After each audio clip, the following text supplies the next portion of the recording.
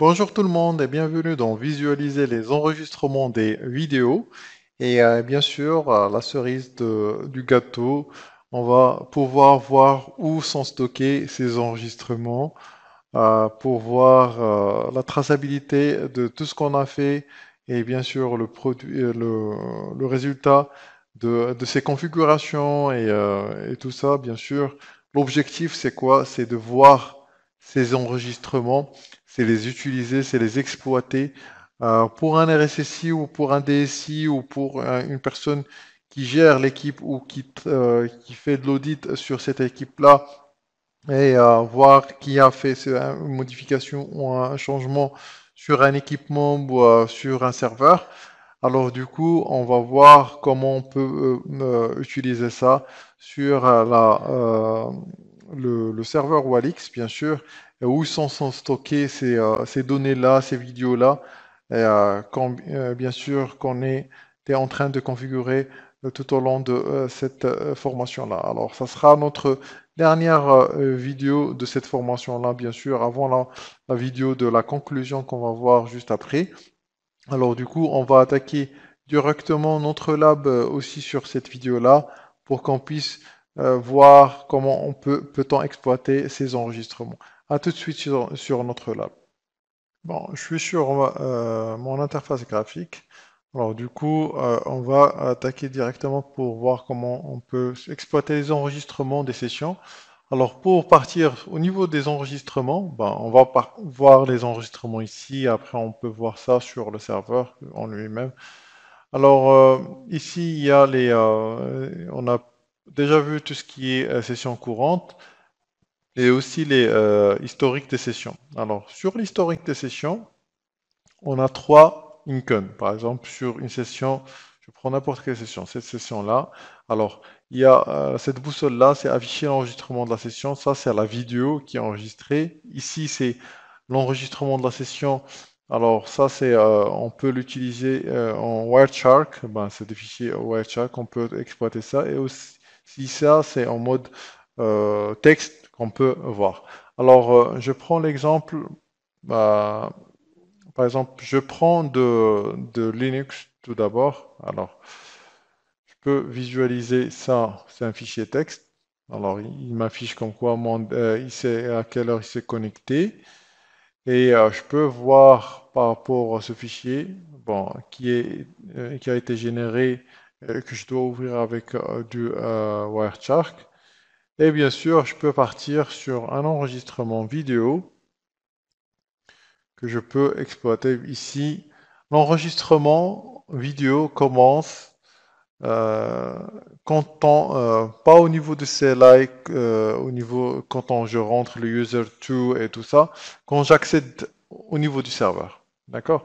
Alors ici, j'ai avec le, euh, euh description de fichier texte. C'est le même fichier texte euh, qui s'affiche ici. D'accord? Et ici, c'est la donnée, euh, le fichier Wireshark aussi sur affiché ici. Alors, pour les trois icônes, ils sont tous affichés là. Et il m'affiche la durée et l'adresse IP du hôte, du serveur, euh, et bien sûr avec quel protocole euh, je me suis connecté pour euh, que la session puisse être enregistrée. Alors, je peux partir ou revenir sur une session de Windows qui a plus de durée. Alors, je vais prendre celle-là, par exemple.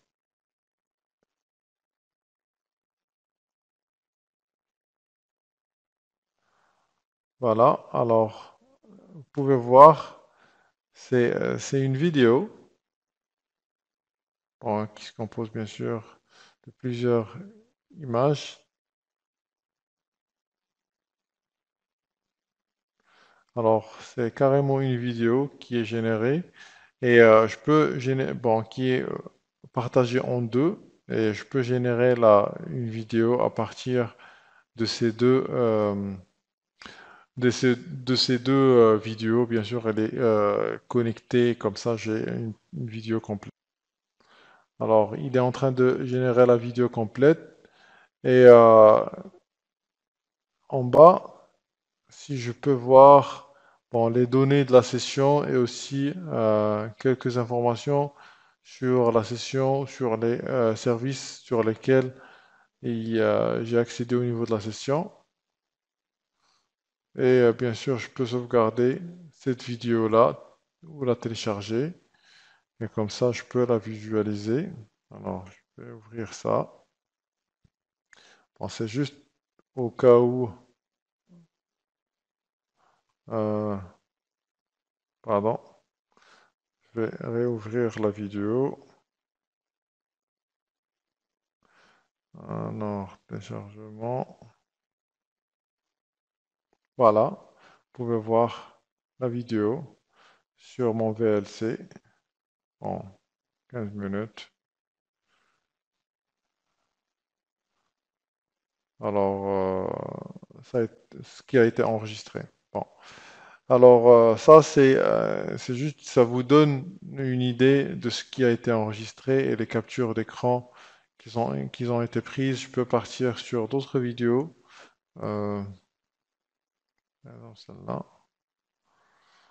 Et ça, bon, ça c'est euh, un éditeur de vidéo qui est euh, adapté à Walix, qui est propre, à Walix, euh, qui est utilisé en interne. Et bien sûr, comme vous pouvez voir, j'ai pu télécharger la vidéo là et cette vidéo et vous pouvez traiter la vidéo pas parce que la vidéo chez chez Walix c'est composé, comme il prend des captures d'écran et il, il les connecte entre eux, voilà. C'est euh, voilà, ça c'est typiquement Alix. Alors il prend des captures d'écran et il les relie entre eux et ça crée euh, ça crée une vidéo quoi. C'est ça, c'est ça.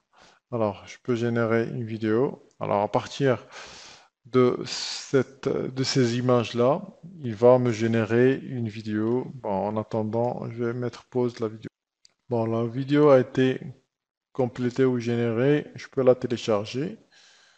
Alors, euh, ici c'est ma vidéo.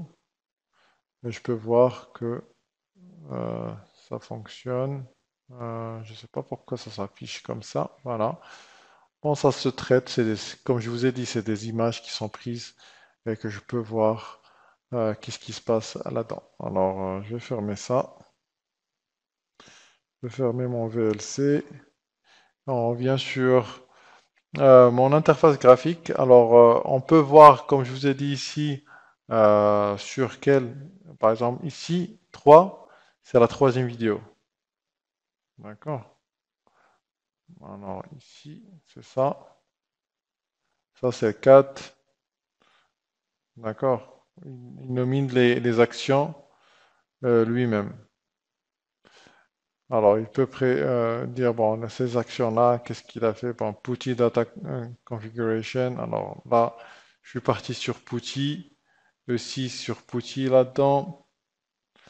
File Explorer, j'ai ouvert le fichier d'explorateur de fichiers sur la, voilà, sur la 7. la 8 aussi. Euh, d'accord, alors Putty sur la 9, voilà. Euh, Program Manager, ici c'est le Program Manager sur le desktop. Bon, ça c'est euh, Data Explorer. Alors ça c'est, il nous affiche chaque, presque chaque icon ou chaque image quel programme il utilise derrière. Voilà. Alors vous pouvez voir que c'est, on peut télécharger et c'est très utile par rapport à ça. Alors maintenant, on va partir pour voir où sont stockés euh, ces enregistrements, comme je vous ai dit euh, euh, au, début, de la vidéo. Alors pour cela, j'ai ouvert et je me suis logué en WinSCP avec le port 2242. Alors ici, ils sont stockés sur var, après sur web, et après on va partir sur recorded. Alors S'ils sont stockés sur un stockage qui est distant, ça va, vous allez partir sur Remote and Recorded. Mais là, euh, ils sont stockés en local. Alors, euh, par exemple, je peux partir sur RDP. Et euh, les heures, les, dates, c'est par date. Et ici, on peut voir les logs, ben, les fichiers texte qu'on peut voir et aussi le, les vidéos qu'il y a. et comme vous aurez dit, parce que c'est des vidéos ou des fichiers qui contiennent alors ça, c'est euh, tout ce qui est record euh, de tous les fichiers ou des euh, qu'on a vu ou des enregistrements qui sont stockés sur var web record. D'accord? Bon voilà, alors merci d'avoir suivi avec nous cette vidéo-là ainsi que cette formation parce que cette vidéo-là s'achève là et merci d'avoir suivi et je vous dis à la prochaine vidéo pour qu'on puisse faire euh, un, bilan de tout ce qu'on a vu sur cette formation-là. J'espère que c'était euh, bénéfique pour vous et riche. Et euh, aussi, c'était l'opportunité pour vous de découvrir une solution de traçabilité si c'est votre première solution de traçabilité et l'intérêt et l'avantage d'avoir cette solution dans votre environnement pour tracer tout ce qui se passe sur votre euh, architecture ou votre réseau.